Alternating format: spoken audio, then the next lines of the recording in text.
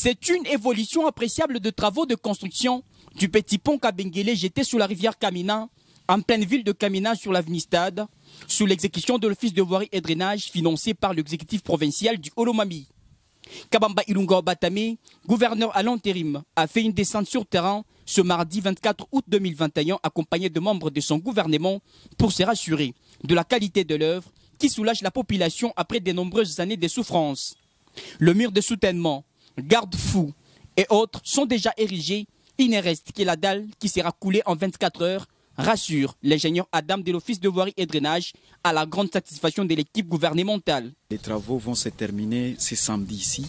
Il va rester juste les travaux de rechargement de latérite à des endroits là où nous sommes censés de mettre, pourvu que la semaine prochaine, on commence directement les travaux sous l'avenue Cadel. C'est là où nous sommes censés départir la semaine prochaine.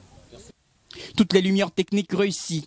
L'autorité provinciale à l'intérim, Anani Wabatame, a encouragé l'équipe à pied d'œuvre et demande la célérité afin d'aborder les autres chantiers en attente avant la tombée de la pluie.